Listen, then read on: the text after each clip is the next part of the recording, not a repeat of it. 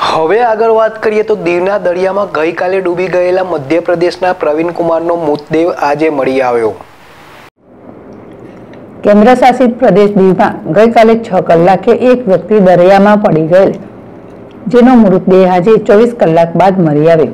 ગઈકાલે આશરે છ કલાકે બંદર જેટી પરથી દરિયામાં પડી ગયેલ જેનું બેગ મરતા તેમાં રહેલ વિઝિટિંગ કાર્ડ પરથી ફોન કરતા તેની ઓળખ થઈ હતી.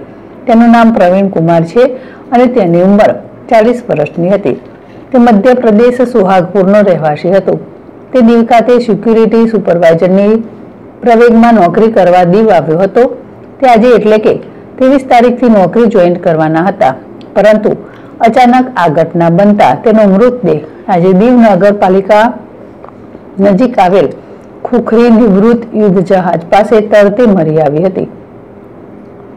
તેનો મૃતદેહ મળતા તેમના પરિવાર અને તથા એજન્સીને પોલીસે જાણ કરી દીધી છે.